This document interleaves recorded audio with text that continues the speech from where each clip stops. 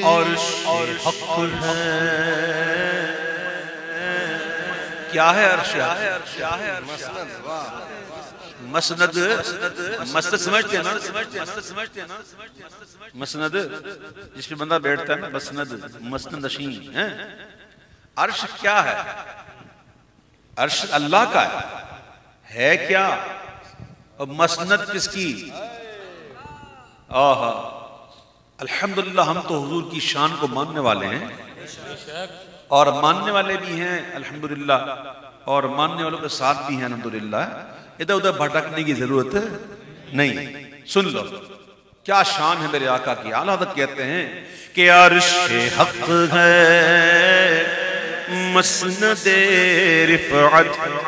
रसूलुल्लाह की। गप गए। मसनद रिफअत रसूलुल्लाह की देखनी है। हशर में इज़्ज़त रसूलुल्लाह की देखनी है। हशर में देखनी है। हशर में देखनी है। हशर में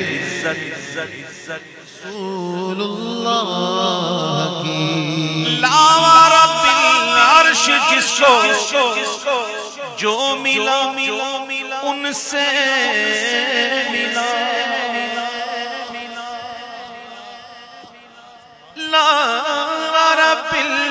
अर्श जिसको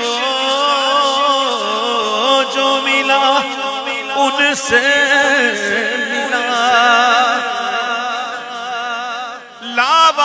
अर्श जिसको जो मिला, इसानत कुल इमामत कुल, सियादत कुल इमारत कुल, हुकूमत कुल, विलायत कुल, खुदा के लावा रब्बिल अर्श जिसको जो मिला, उनसे मिला, बटती है कौन में? नबत रसूलुल्लाह की बटती है। कौन नबत रसूलुल्लाह? की जगह आज हो रही है ज़िक्र हो रहा है। नूर वाले आका का ज़िक्र हो रहा है। ठीक है? मेरे और आपके आने से पहले, मेरे और आपके आने से पहले पहले क्या आया था यहाँ? बताऊँ? लाइट क्या आई थी? लाइट पहले ना? हम तो बाद में सही ये तो ज़िक्र है। ये तो ज़िक्र है। ज़िक्र अभी शुरू नहीं हुआ। पहले क्या आ गया? नूर आ गया। ओ महबूब पे चाहने वाले हुजूर के सच्चे गुलाम, तू मर के कबर में तो चल। तू चल तो सही फिर देख क्या होगा। तू बाद में आएगा, नूर पहले होगा। आए हाय, और नूर भी ऐसा होगा। ये तो ज़िक्र वाली महफिल है तो ये थोड़े दिन के लिए, थोड़े टाइम के लिए, दो घंटे, तीन घंटे खत्म। लेकिन वो नूर कैसा होगा? आला आदत से पूछते हैं। आला आदत कहते हैं, सुनो, कब्र में लहराएँगे ता हश्र चश्मे नूर के।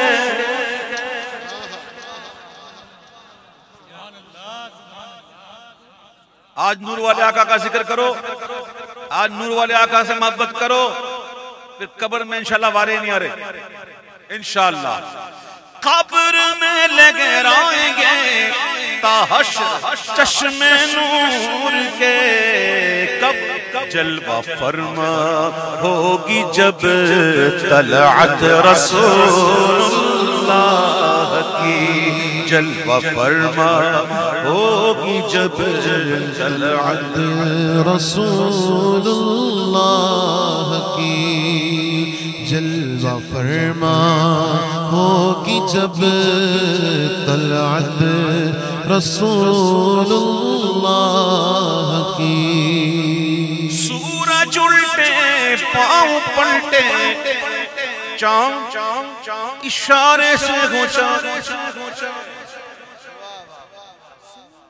सूरज उल्टे, पाँव पलटे, चाँद इशारे से वो चाँद अंधे नजदी देख ले, कुदरत रसूलुल्लाह।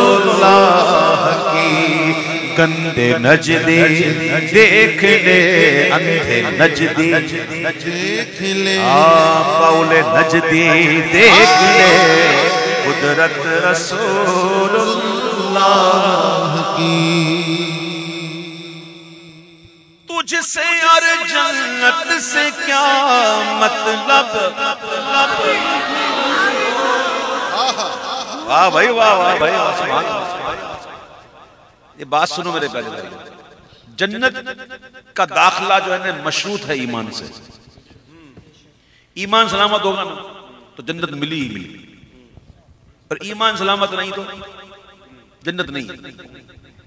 फिर काफिरों के लिए अल्लाह फरमाता है काफिरीन। जहन्नम को काफिरों के लिए बनाया ठिकाना काफिरों का, मुमिनों का नहीं।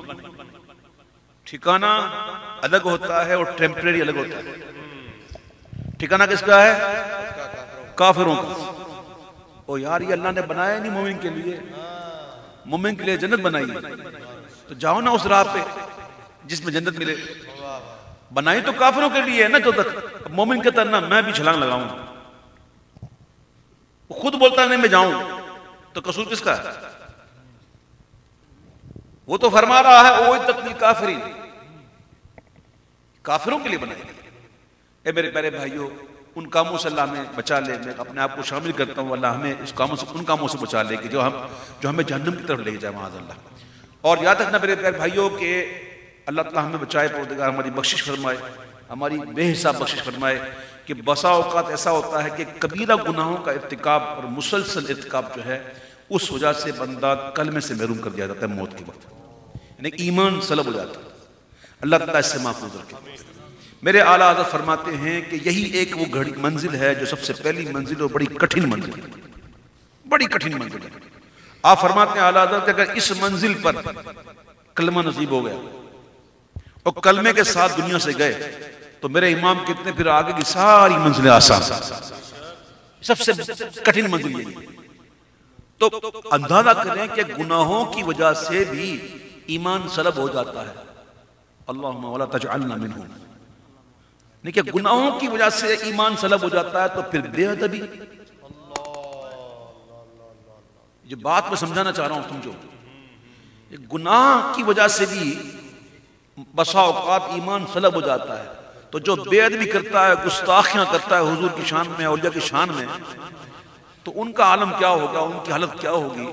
भाइयों, हमेशा सुनी रहना, हुजूर के गीत गाते रहना और बस हमेशा अल्लाह की बारगाह में गिर जाना और कहना रब्बना ज़लमना अनफुसना व इल्लम तगफिर लना व तरहमना लनकूनन्ना मिनल खासिरीन। माफ़ी मांगते रहना, माफ़ी मांगते रहना। अल्लाह ताला हमें गुनाहों से बचा ले, हमारे गुनाहों को माफ़ कर दे। तो ईमान मशरू, ईमान जो है वो शर्त है जन्नत में जाने के लिए, जो ईमान वाला नहीं। तो इमाम कहते हैं कि तुझसे और जन्नत से क्या मतलब? वहाँ भी दूर वो हम रसूलुल्लाह के और जन्नत रसूलुल्लाह की। हम रसूलुल्लाह के जन्नत रसूलुल्लाह की। आपस से कह दो। हम रसूलुल्लाह के हम रसूलुल्लाह के। जन्नत रसूलुल्लाह की। मांगना सीखे कोई आला आदत। आला आदत से सीखे। तो मांगना भी हर एक का काम नहीं है। मांगने का भी एक हुनर आना चाहिए। आला आदत कहते हैं, हम हैं उनके। ए मालिक, ए परवरदिगार, ए खालिक, ए रब कायनात हम हैं उनके। वो तेरे हैं। हम हैं उनके। वो तेरे हैं। तो हुए हम तेरे। मैं और समझाने के लिए कहूँ मैं कहीं जाता हूँ ना, रुकता हूँ ना कहीं तो बच्चों से बड़ा मैं करीब होता हूँ तो बच्चे ही मुझसे बहुत करीब होते हैं। तो कभी कभी कहता हूँ कि बेटा ये घर किसका? तो मेरा। फिर कहता, बेटा आप किसकी? तो मैं आपकी। ये घर मेरा हुआ। नहीं, ये घर तेरा तो तू मेरी। तो घर मेरा हुआ ना? तो बच्ची बड़ी हंसती है है ना? मेरी भाइयों, सुनो, समझो। हम हैं उनके, वो तेरे तो हुए हम तेरे। इससे बढ़कर तेरी सम और वसीला क्या? उनकी उम्मत में बनाया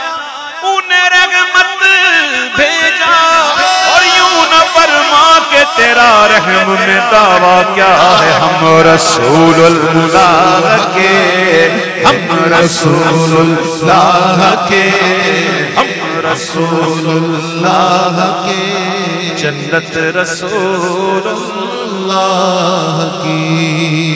हम भिकारी वो करीम और उनका खुदा उनसे फजू हम भिकारी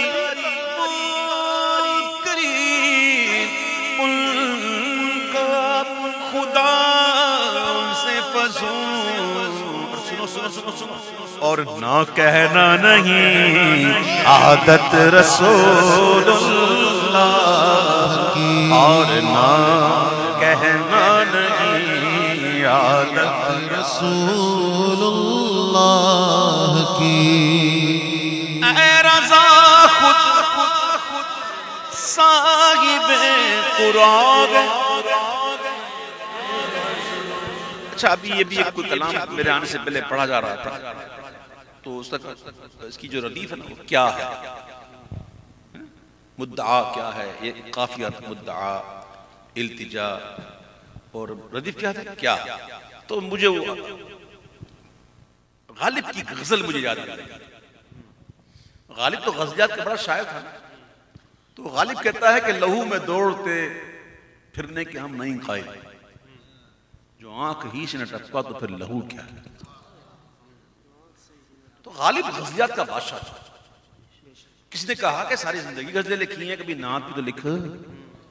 कभी नात लिख हुजूर की। तो गालिब ने एक नात तो लिखी, लेकिन नात के मतलब मकता ऐसा लिखा। कहता है कि गालिब की बख्शिश अगर हुई तो इस पर होगी। फरमाते हैं फरमाते हैं गालिब की बख्शिश हुई तो इस शेर पे हो जाएगी। गालिब सनाए ख्वाजा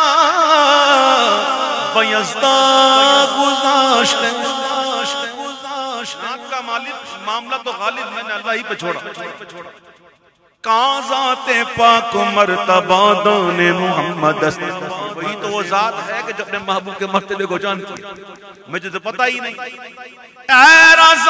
खुद साहिब कुरान मद्दा हुजूर तो मुझसे कब मुमकिन है फिर मिदहत।